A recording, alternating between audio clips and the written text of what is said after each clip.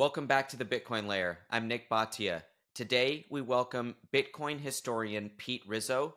Pete is also working with Bitcoin Magazine as well as the exchange Kraken. Pete, thank you so much for joining us today. Happy to be here.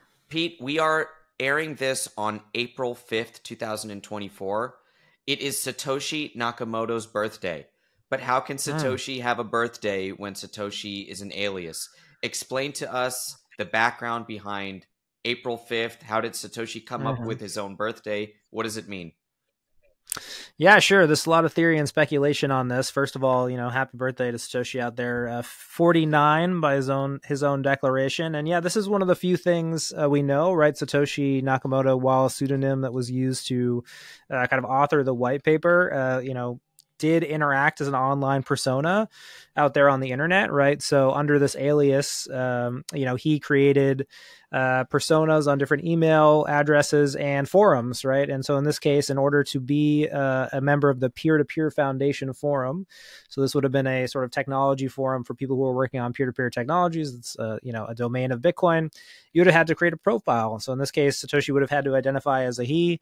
Uh, he would have had to kind of list his name and his birth date. Uh, and the birth date that uh, he listed was April fifth. let me get the get the date right. 1975, right? And so there's a bunch bunch of you know from there kind of uh, you know ideas and illusions about what it what it all means. I think one of the most popular ones is that uh, 1975 it was the date that they kind of uh, reallowed gold after the 6102 event so the us citizens could hold gold uh, again legally in the united states. That's a popular theory. Other uh, you know, things that it's been linked to. April 5th, also the birthday of Nick Szabo, who's a kind of early cryptographer and cypherpunk. Uh, so, you know, now you're into sort of the numerology and mythology of Satoshi, maybe passing out of the facts. Uh, but, you know, factually, uh, this is what Satoshi said it was, it was his birthday. And uh, I think we got to respect that, right?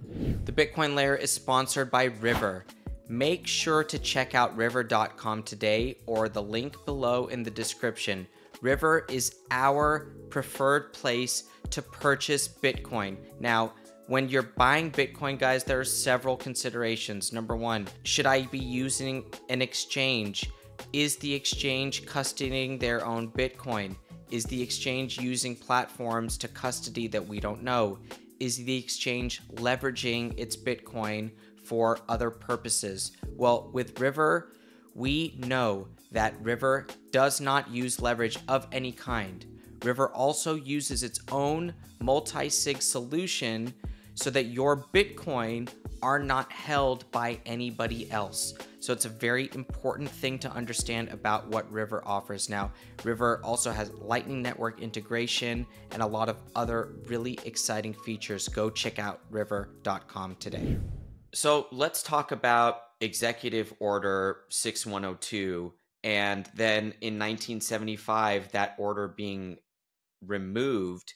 So is the theory here that bitcoin and gold are from the satoshi nakamoto side intended to be similar grouped in the same category? And how do you view this link with executive order 6102 yeah, look, I think it's speculative, right? Um, Satoshi Nakamoto, if you kind of examine his writings, of which there are a lot, right? This year, there's been a couple big moments. They've had new emails kind of released, 150 pages of of documentation about Satoshi, how he's thought about the project, how he handled it.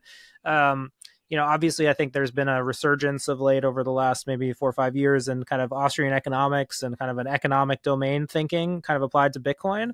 And I think you know there's been a rise of this theory kind of kind of in line with that. Um, you know, if you look at Satoshi's writings, just as actual text, um, you know, very little of it is actually, you know, on economics, right? So he doesn't, you know, really reference many textbooks on economics. Uh, he doesn't really uh, maybe even talk so much about his theory behind the economics of Bitcoin, right? So one of the things that came out in the emails this year, but it was actually kind of revealed in a previous developer who had published his emails with that was that you know Satoshi really saw 21 million Bitcoin as an educated guess, right? Like that's his his justification, uh, you know, where he was say, oh, there's eight million people uh, and 21 million coins sort of feels right, right? So we know that Satoshi was, you know, maybe a bit of a pragmatist, right? He he had he didn't really have any have that much absolute uh, kind of absolutism behind his ideas. But um, yeah, certainly there's a popular theory here that likes to promote the idea that you know essentially Bitcoin is this new alternative digital gold. It promotes you know your ability to hold your own wealth and custody via your private keys, and you know Executive Order 6102 within the you know pantheon of economic history is an event where the United States government essentially, via President Roosevelt, uh, you know, essentially banned private citizens from owning gold, right? So this was a period of economic instability. They just had the roaring 20s, the kind of the stock market boom of the late 1920s. All of that disintegrated. You had millions of people homeless, adrift. There was mass political kind of uprisings, and you really saw kind of a uh, you know, reforming of the economy under a central planning and central management, right? So this would have been in the wake of some of John Keynes and his formative works, you know, probably pre prior to Hayek and some of you know his more popular works. Road to Serfdom's not out yet at this time, but really, you know, a treatise on money uh, and credit was really the kind of big book, right? John Keynes was the big economic mind at the time. And you know, FDR, kind of as a politician looking for a solution to the problem, you know, really adopts a lot of this kind of central planning mindset, right? And you do really see the United States in the 1930s transition, you know, from what some people would argue was a free market economy with a free market for private monies, you know, even though there was a Federal Reserve, into a system where the economy was central planned. So I think, you know, people like to link these two dates uh, because it allows us to kind of talk about all these reasons why Bitcoin is relevant today, right? In a day where governments are overreaching and people feel like they need to preserve their wealth. Now, Pete, I want to first remind the viewers here that it is not our intention in any way to specifically try to identify the uh, identity of Satoshi Nakamoto. That is not my goal. It's not our goal here today. Our approach is from the curiosity side and the understanding of Bitcoin's origins. So I want to start with just reminding people about that. Now, with that being said, there is a wide belief that Satoshi Nakamoto was this cypherpunk who had come from a deep cryptography background and was somebody who was trying to solve decentralized money trying to solve the Byzantine general's problem and was able to accomplish that, did so anonymously, so because the idea was potentially bigger than the person itself. Now, we have that school of thought, but we also have this lingering idea that Satoshi Nakamoto is an intelligence product because the NSA invented SHA 256. So I want to ask you about maybe if you can just give your opinion on why people think that Satoshi is an intelligence product. What mm. is the link with SHA 256? And give us a sense of hmm. history there so that we can learn from you. Yeah, interesting. Um, you know, that's not a theory that I've directly explored, like in, in any degree, right? Because there isn't a lot of contextual evidence for that, right? So I think one of the reasons people like to bring that up is because you know the National Security Agency (NSA) is you know sort of the domain uh, a, you know a body within the United States government that would have essentially managed cryptography, right, or had an interest in cryptography. Uh, and this kind of lingering perception goes back to the 1990s during like the crypto wars. And I here I think I'm going to be a little bit fuzzy on the specifics, but the generalities are essentially, you know, the U.S. government did attempt to mandate uh, and bring encryption under you know regulations such that it was that no private citizen could actually experiment with this right? So this was kind of the big conflict of the early days of the cypherpunks uh, and you know satoshi i think well we don't know that he was explicitly a member of the cypherpunks certainly venerates that group right? He makes a number of specific textual allusions to thanking people who were part of that group hal finney zooko wilcox uh, you know people who he saw as you know kind of forefathers. And part of that I, you know i do think i get the sense more recently that satoshi might be a little younger especially from these new emails that have come out where he speaks a little bit more colloquially with some you know euphemisms that maybe maybe you wouldn't have heard from an older person. But yeah i think uh, essentially you know you have this idea that uh, the united states government was heavily interested in cryptography. Cryptography was seen as this domain of munitions this domain of warfare. Uh, and the cypherpunks were the civilian group that really, you know, attempted to erode that and did successfully erode that, right? So Phil Zimmermann and pretty good uh, pretty good privacy PGP, which would have been the kind of encryption standard. If you send encrypted emails today, that's what it uses.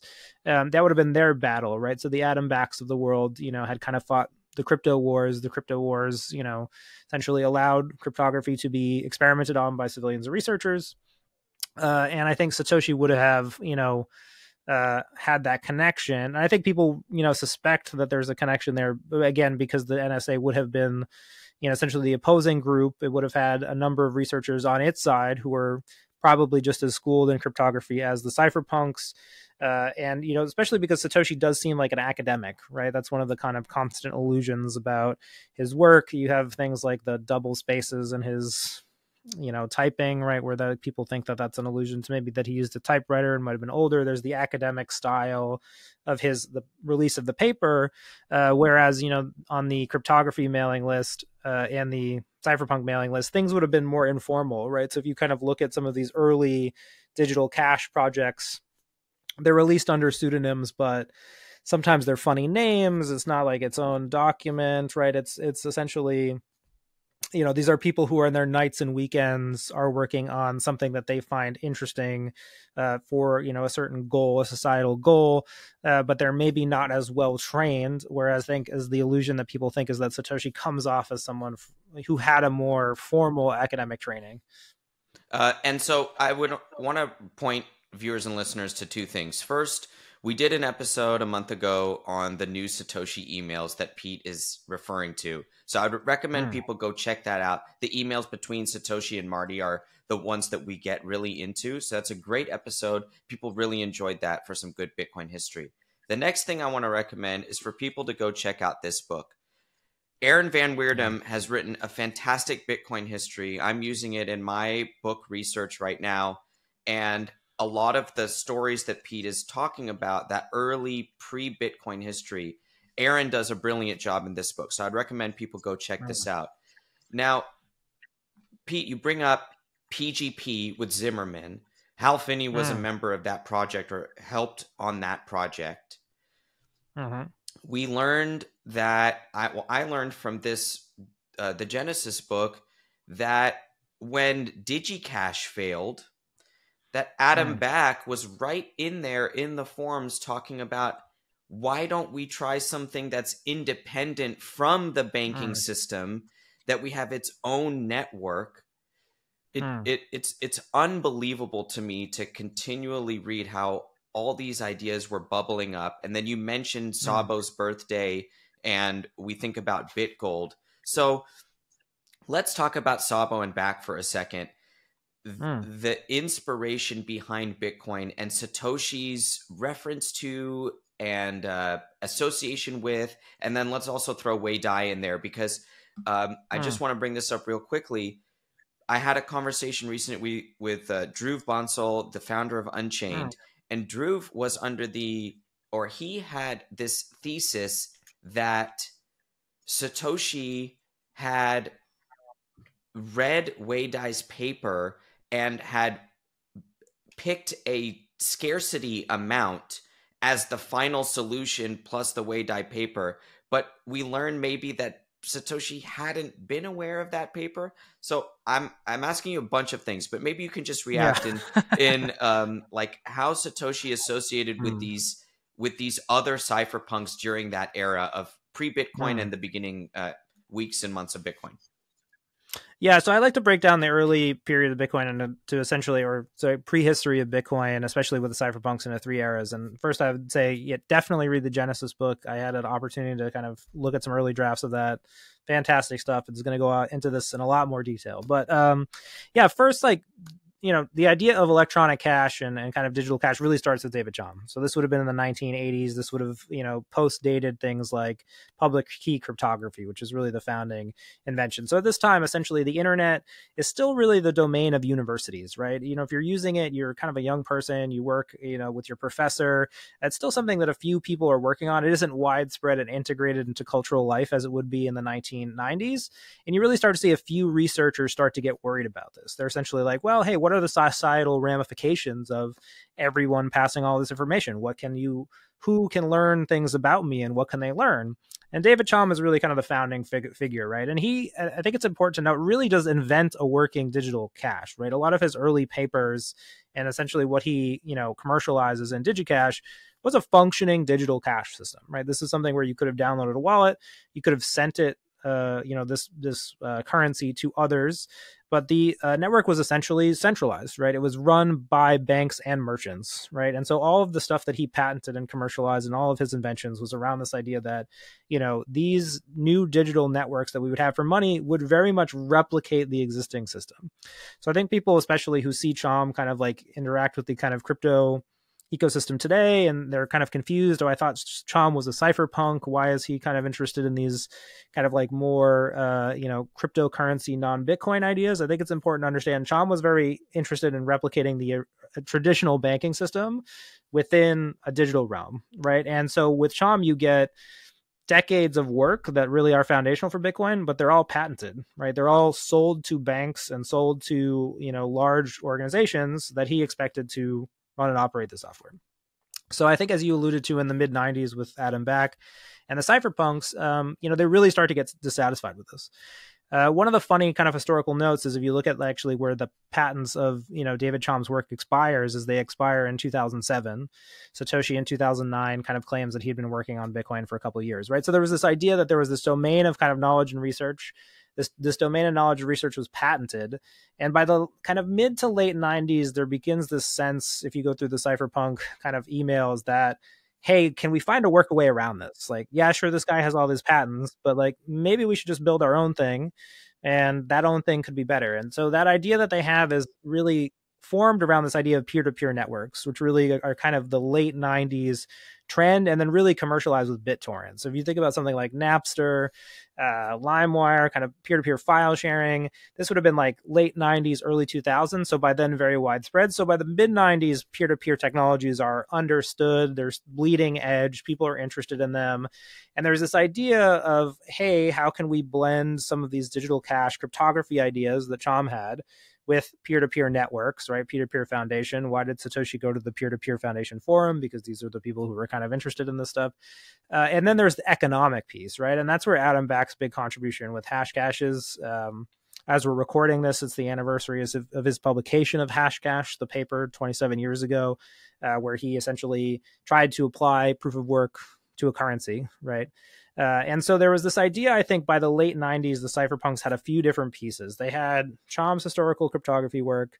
They had this idea that peer-to-peer networks and, you know, this idea that, hey, rather than giving banks and merchants power, what if everybody ran this network? What if it was a collective network? And they had some aspect of economics, right? Oh, well, hey, well, maybe we should back this currency with some sort of computer network or computer resource. That's kind of Adam Back's unique contribution.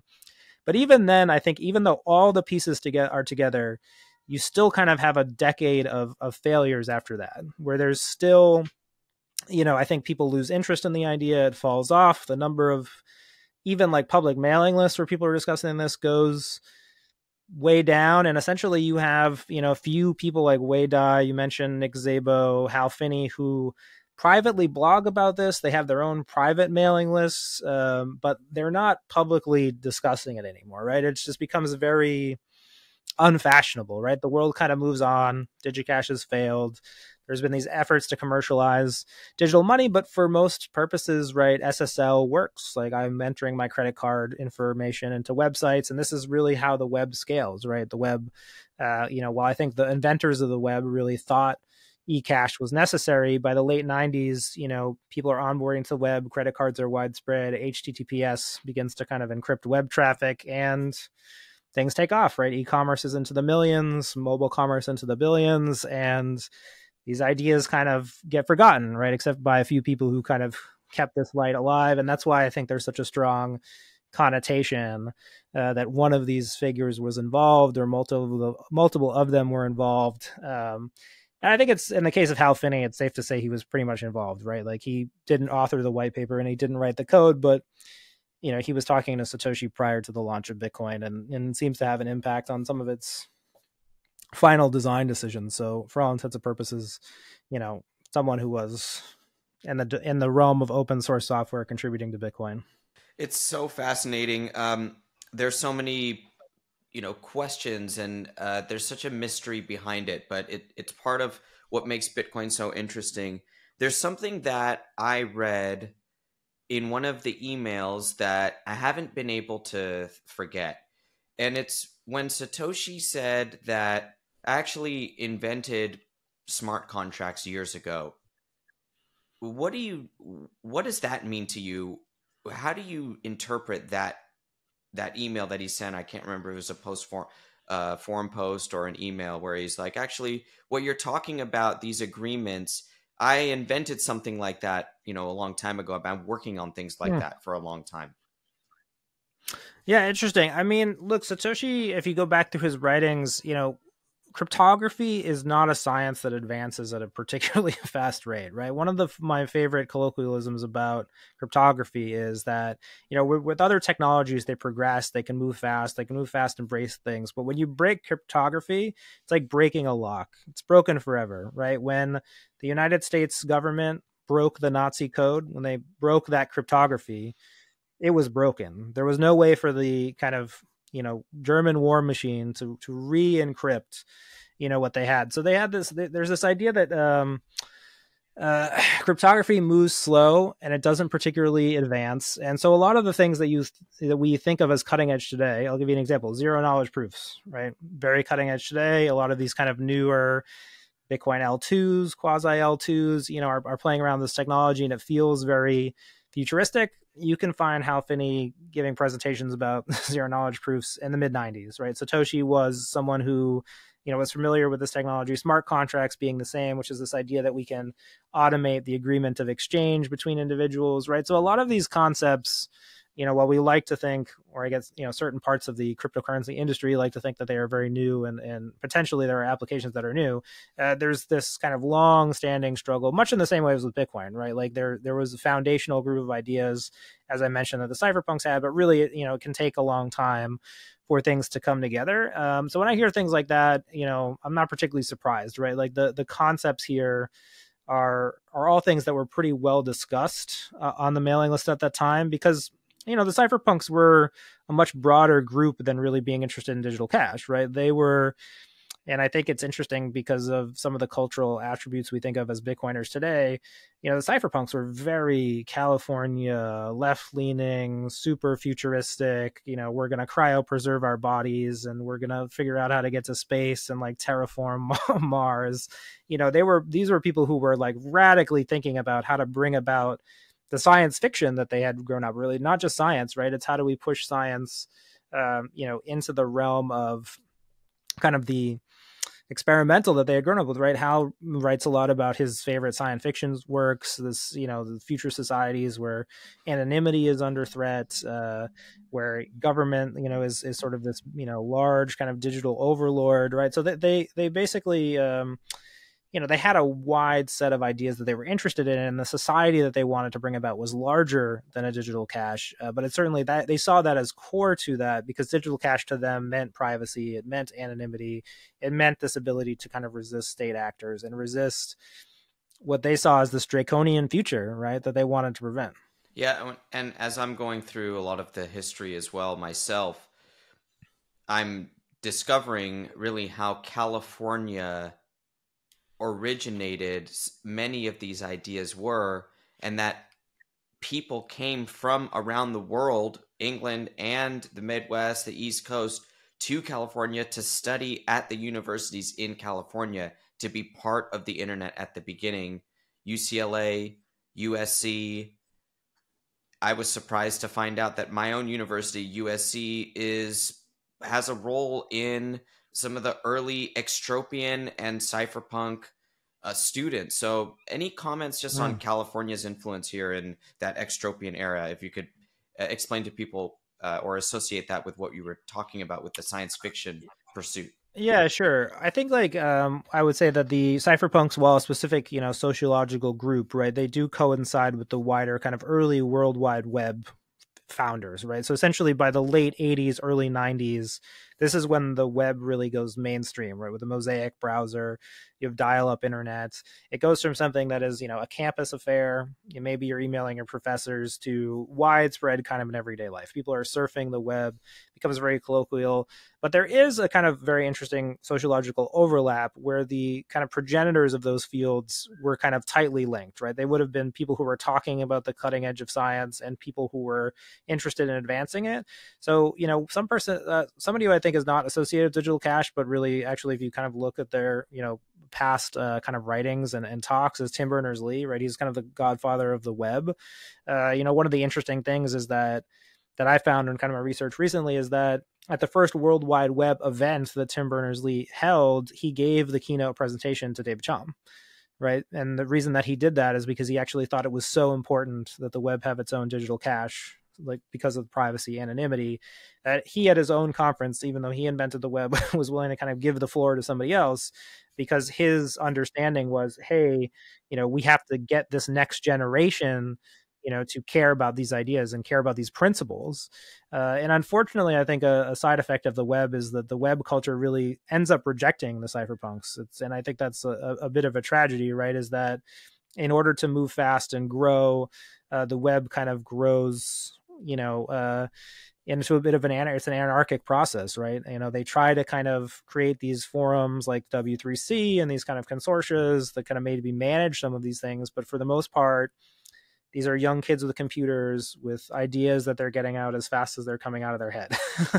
and, you know, unfortunately, like Chaum and the Hal Finneys and the kind of the cypherpunks, you know, there's a reason that they're a subculture of that group, right? While they have endured because their writing is very prophetic and it deals with a lot of issues that we still deal with today, you know, they very much become a group that you know isn't culturally mainstream right? When you think of you know who are the figures associated with the 90s internet in california it's people like marc andreessen people like uh, chris dixon like the kind of people who are you know today maybe not so associated with bitcoin right? And i think that's because there's historical tensions between those groups dating back decades and it's not just digital cash it's also open source you know versus free software right? There's all these kind of cultural schisms within technology and you know bitcoin inherits a lot of that right? Bitcoin is the product of, of some of these subcultures uh, and uh, you know it does exist in the face of them right? It, it, it does contradict them and uh, you know that's been part of the reason i think why you know so many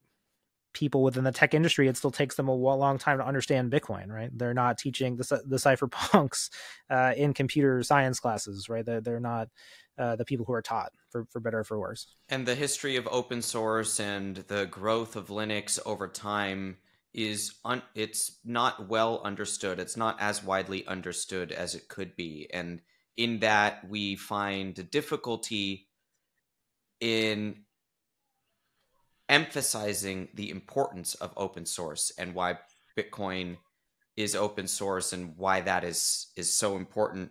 Can you tell us one more time, Pete, this keynote speech that you're referring to? Um, addressing David Chaum. What year was that, and and and what was the setting of that? Can you tell us one more time? Mm. Yeah, so this would have been like 1994. I think this was early 90s, 92 to 94. This would have been the first World Wide Web summit. So essentially, Tim Berners Lee, the inventor of the web, would have, you know, this would have been the first time that he had a conference.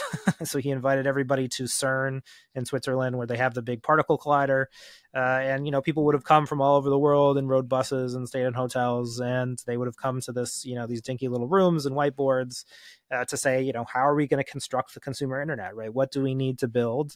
And they sort of had two or three days of whiteboard sessions where, you know, they put the full suite of ideas. You know, here's digital cash, here's, uh, you know, uh, cyber worlds where you know there's 3D virtual reality and uh, people 3D printing things, right? Like this whole their design space was massive, right? So you would have had people at that conference we're talking about things that today are still like unrealized, right? There's another keynote by a guy uh, named Mark Pesce who kind of like is talking about virtual worlds. Like he's like, oh, I want to build, you know, VR settings where you won't have web pages. You'll you'll be physically walking to like a house, and the house will have data in it. And you can own parts of this world, right? Like so, the ideas are just all over the place, right? The web is really, uh, and I think that's a testament to how fast the web grew, right? Because essentially you know you you think about the web really from like the late 80s uh, to the early 90s and it's important to understand the web is just one kind of internet technology right but it's the one that kind of tied them all together and it sort of grows very fast right all this stuff kind of comes together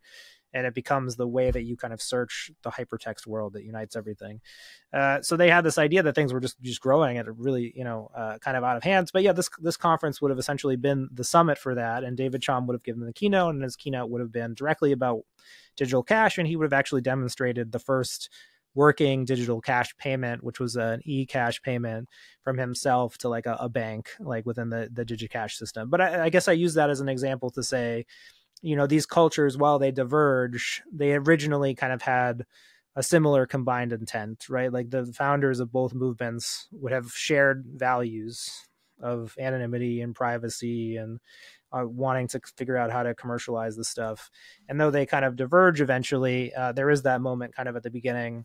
And I think it's just a testament to how uh, you know they saw it was important, right? Well, it was ultimately something unrealized by that group of people. Uh, they still aspirationally wanted to achieve that, right? It just took a lot longer.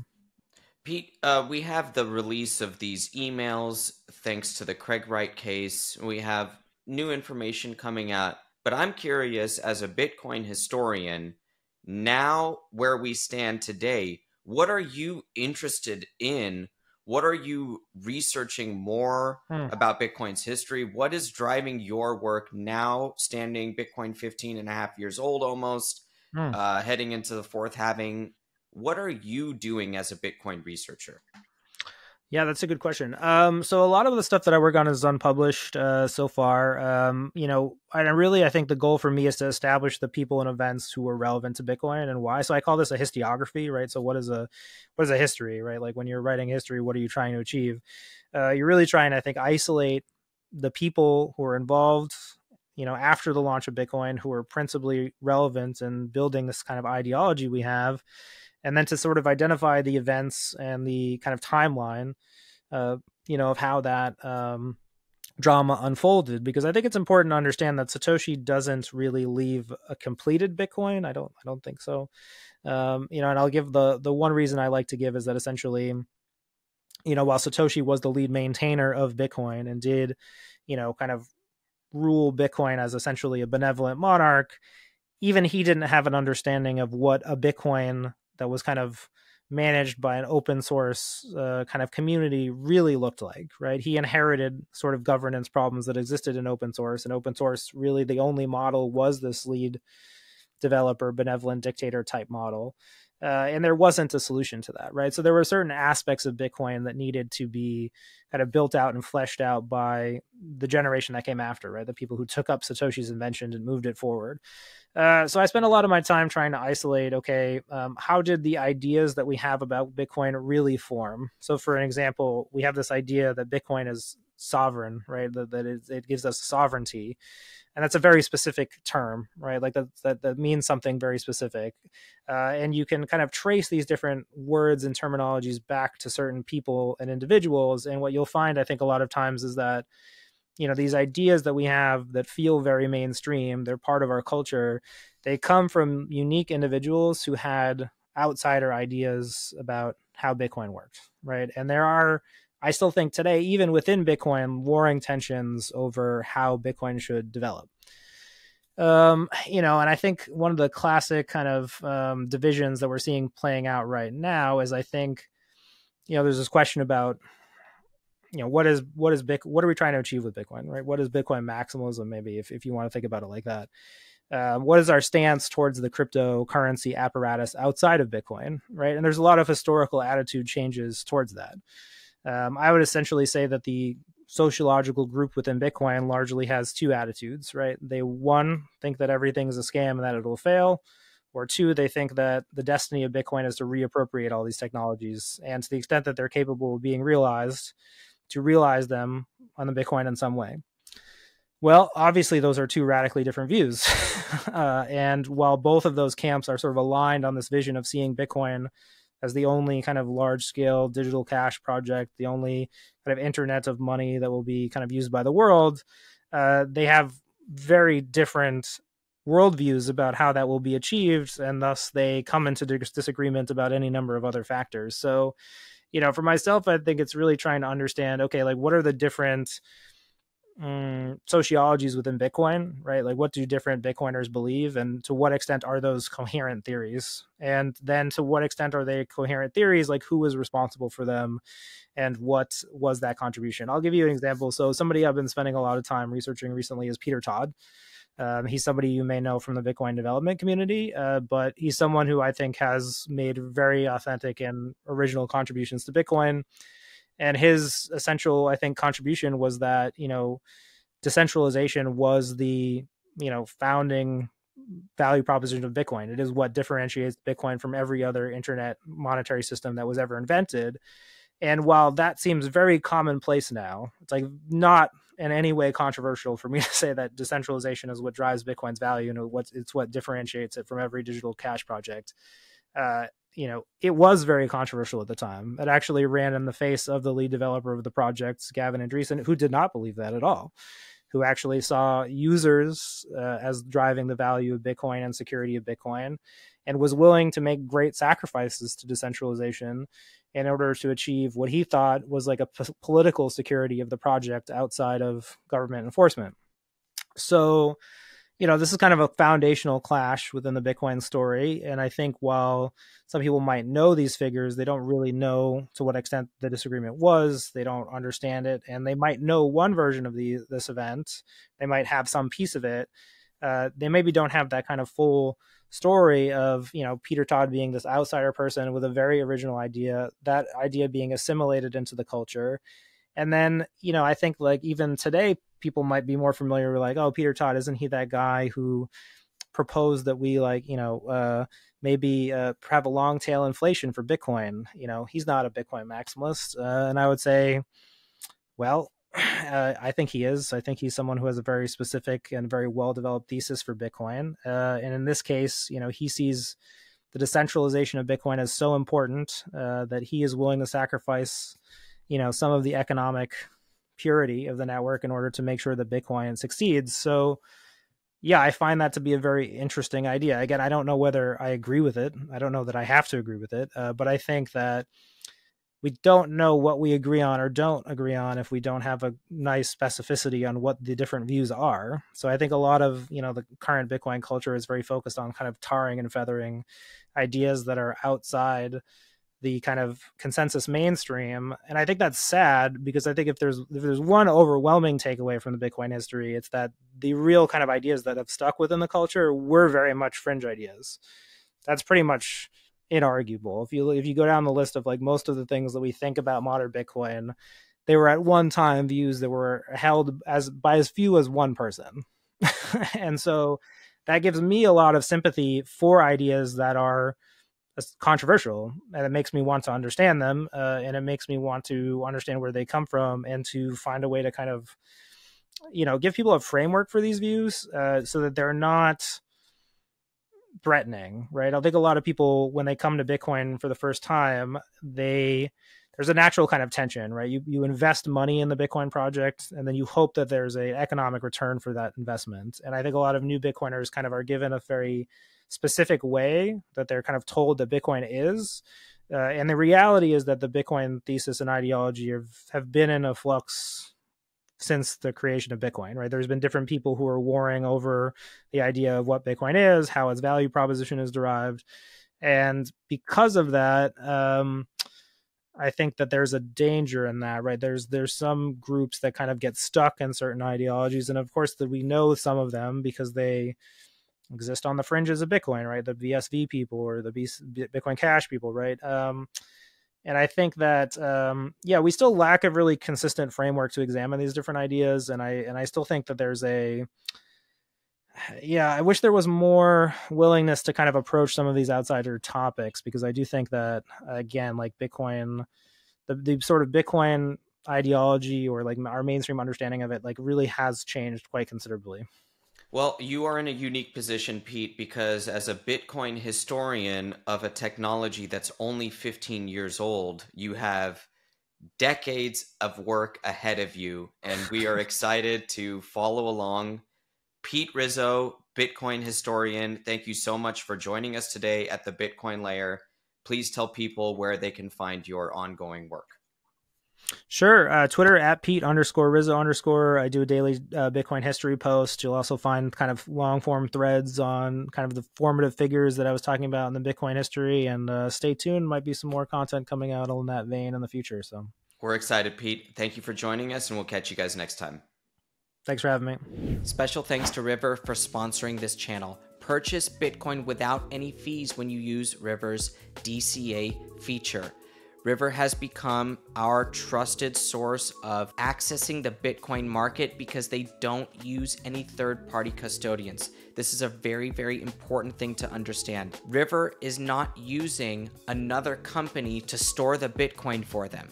They have their own multi signature solutions, which means that they have designed their own way to make sure nobody else has responsibility for the Bitcoin for the time that you have River hold your Bitcoin for you on their platform once you have purchased it. So go check out river.com today.